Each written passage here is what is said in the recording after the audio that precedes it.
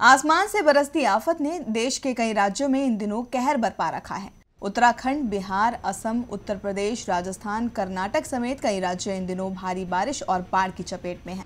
असम सहित पूर्वोत्तर के कुछ हिस्सों में भी बदहाली का आलम है। असम के डिब्रूगढ़ के हाल सबसे ज़्यादा खस्ता है। वहीं देश की राजधानी दिल्ली और एनसीआर में भी बारिश से जनजीवन अस्त व्यस्त है। दिल्ली में सुबह से ही कई इलाकों में जगह जगह जाम लगा है। ट्रैफ़िक पुलिस ने भी ट्वीट कर इसकी जानकारी दी है। उन्होंने लिखा है कि कल तक ट्रैफ़िक स्लो रहेगा, एहतियात बरते। मौसम विभाग ने दिल्ली एनसीआर में अगले तीन चार दिनों तक लगातार भारी बारिश होने का अनुमान ज़ाहिर किया है, जिसकी वजह से दिल्ली जाम के जंजाल में फंस सकती है। वहीं बात करें गुरुग्राम की तो वहाँ अब जाम खुल गया है।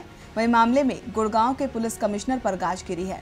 नवदीप विर्क का तबादला करते हुए उन्हें रोहतक भेजा गया है। वहीं अब संदीप खिरवार गुड़गांव के नए पुलिस कमिश्नर होंगे। सरकार ने इसे रूटीन ट्रांसफ़र बताया है।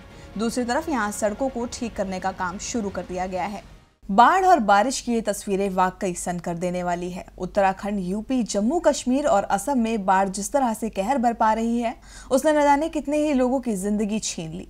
ऐसे में तो हम भी यही दुआ करेंगे कि अगले बरस सावन ऐसे ना बरसी हो देखते रहिए डीबी लाइव।